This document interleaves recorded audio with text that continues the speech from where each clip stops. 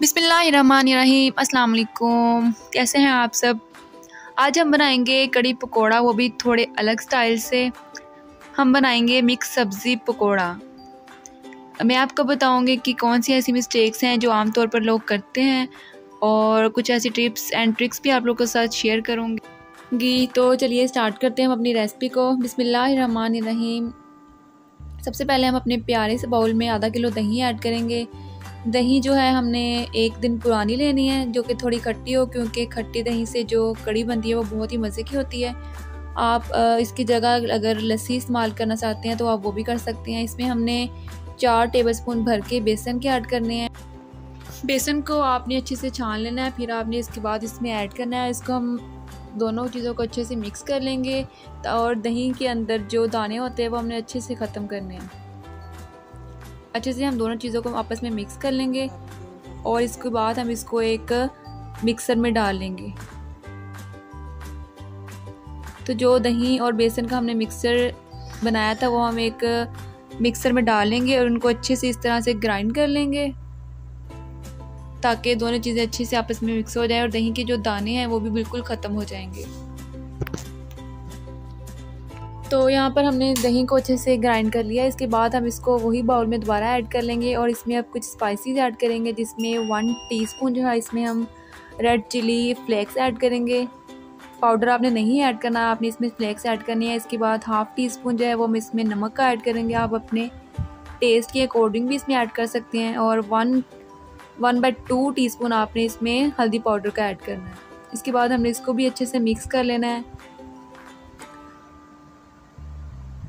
तो कड़ी बनाने के लिए हमारा जो मिक्सचर था वो रेडी हो गया है। अब इसको हम एक पैन में डाल देंगे और इसको अच्छे से मिक्स कर लेंगे। पैन में डालने के बाद हम इसमें तीन से चार ग्लास जो है वो पानी के ऐड करेंगे ताकि जो कड़ी है वो हमारी वो काफ़ी देर तक पकती रहे। जितनी ज़्यादा देर कड़ी पकेगी, उतना ही ज़्यादा इसका टेस्ट अच्छा होगा और उतनी ही ज़्यादा ये गाढ़ी बनेगी।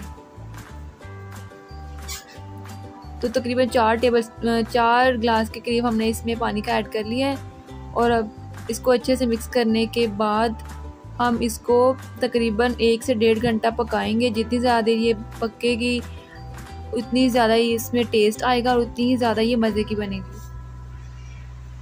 तो इसको पकाते वक्त अगर आपको लगे कि कड़ी थोड़ी गाढ़ी हो रही है तो आपने इसमें पानी और ऐड कर देना है और इसको फिर एक घंटे के लिए लाजमी पकाना है।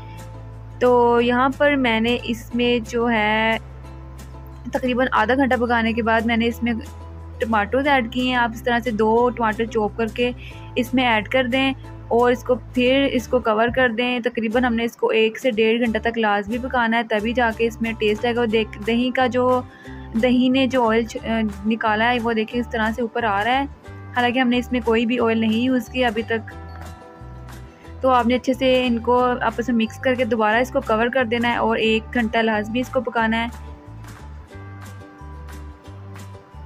रहीम, दूसरी तरफ़ हम पकोड़े तैयार कर लेंगे। इसके लिए हमें आलू लेने हैं। आलू को आपने इस तरह से इसकी कटिंग करनी है बारीक बारीक। बहुत ज़्यादा मोटे हमने आलू नहीं काटने, क्योंकि जब ज़्यादा मोटे होंगे तो ये अंदर से गलेंगे नहीं जब हम इनको फ्राई करेंगे। और एक मीडियम साइज़ का जो प्याज है, वो हमने भी इस तरह से इसकी कटिंग की है, यानी कि इसको चॉप कर लिया। ये भी आपने बहुत ज़्यादा मोटा नहीं काटना।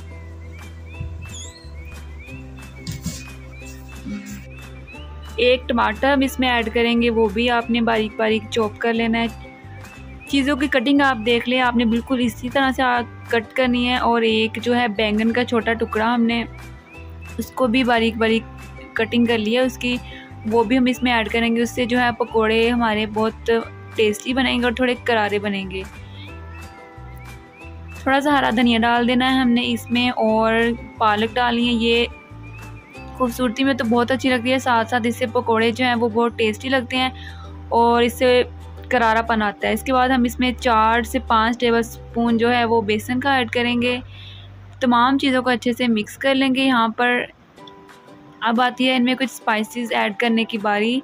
तो वन टीस्पून जो है वो हम इसमें ऐड करेंगे खुश्क धनिया powder half teaspoon red chili powder add करेंगे और हाफ़ टी स्पून नमक ऐड करेंगे। आप अपने टेस्ट के अकॉर्डिंग भी इसमें ऐड कर सकते हैं। वन फोर टी स्पून जो है वो इसमें ऐड करेंगे हल्दी पाउडर का। वन टीस्पून भर के हम इसमें खुश्क मेथी ऐड करेंगे और ज़ीरा हमने इस तरह से इसको हाथ हथेलियों में मसल कर ऐड करना है। इससे जो बहुत ज़बरदस्त मसाले की खुशबू आती है और टेस्ट भी अच्छा इसका अच्छा होता है। तमाम चीज़ों को हमने अच्छे से मिक्स कर लेना है। इसमें थोड़ा सा पानी डालकर इसका एक स्मूथ सा बैटर बना लेना बहुत ज़्यादा पतला नहीं करना बल्कि थोड़ा सा ऐड करके आप इसकी बैटर की जो थिकनेस है वो आप देख सकते हैं। इसके बाद हम एक पैन में जो है ऑयल को अच्छे से गर्म कर लेंगे। ऑयल को हमने तकरीबन तीन से चार मिनट अच्छे से गर्म करना है। जब ये काफ़ी गर्म हो जाए तो हमने पकौड़ों को इसमें ऐड करना है। और जब हम इसमें पकौड़ों को ऐड कर दें, इसके बाद हमने इसका जो फ्लेम है वो नॉर्मल कर देना यानी मीडियम फ्लेम पर हमने इसको फ्राई करना है। और बहुत ज़्यादा फ्लेम पे करेंगे तो ये ऊपर से जल जाएँगे और अंदर से ये कच्चे रहेंगे। इसलिए दोबारा सुन लें।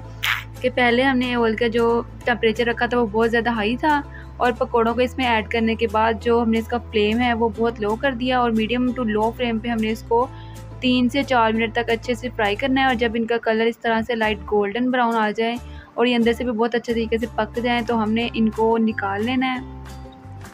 एक प्लेट लें, आप इसको अच्छे से निकाल लें।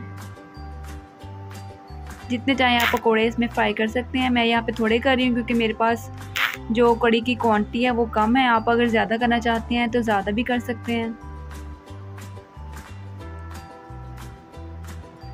इसके बाद वही जो ऑयल हमारे पास बचा था, जिसमें हमने पकौड़ों को फ्राई किया किया था, इसमें हमने थोड़ा सा ज़ीरा डालेंगे। आँच हमारी बहुत ही लो है। हाई पे नहीं करना, इससे क्या होगा कि ज़ीरा जो हम डालेंगे, वो फ़ौरन से जलना स्टार्ट हो जाएगा। और इसमें हम दो मीडियम साइज़ के जो है प्याज, इस तरह से कटिंग करके ऐड करेंगे। ये हम तड़का तैयार कर रहे हैं हमारी कड़ी के लिए। और इसमें हम दो मिर्चें सुरख मिर्चें ऐड कर दें। मेरे पास दो ही थी। आपके पास अगर ज़्यादा हो तो आप ज़्यादा भी ऐड कर सकते हैं। और प्याज को हमने लाइट गोल्डन कलर आने तक अच्छे से फ्राई करना है। बहुत ज़्यादा गोल्डन फ्राई नहीं करना इसका कलर बस दो से तीन मिनट तक ये अच्छे से गोल्डन और इसके बाद बिस्मिल्लाहिर्रहमानिर्रहीम हमने जो पकोड़े तैयार किए थे वो हम इसमें फ्राई किए थे सॉरी वो हम इसमें ऐड कर लेंगे।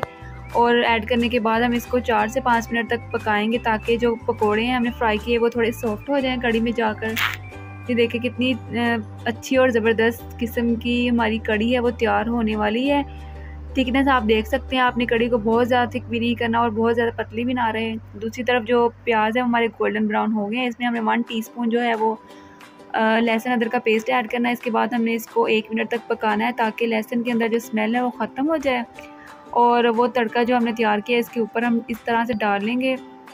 बहुत ही ज़बरदस्त किस्म की खुशबू आ रही है। इससे बहुत ही मज़े की जो है कड़ी हमारी तैयार हो गई है। हमने अच्छे से मिक्स कर लेना है ताकि जो तड़का डाला है वो भी अंदर मिक्स हो जाए। उसके ऊपर धनिया ऐड कर लेना है और दो ती, या तीन हरी मिर्चें हमने इस तरह से ऐड कर देनी है। इसके अंदर कट लगा के वो भी हम कड़ी में ऐड कर तो माशाल्लाह से कड़ी हमारी जो है वो तैयार हो गई है। आप इसकी थिकनेस देख सकती हैं। बिल्कुल इसी तरह से आपने बनाना है अपने घर में। आपके घर वालों को उम्मीद है आपकी ये कड़ी की रेसिपी बहुत पसंद आएगी। अगर आपको मेरी आज की वीडियो अच्छी लगी हो तो मेरे चैनल को सब्सक्राइब कीजिए और वीडियो को लाइक कीजिए। मिलते हैं अगली वीडियो तक। अपना बहुत सारा ख्याल रखिएगा और दुआओं में याद रखिएगा। अल्लाह हाफिज़।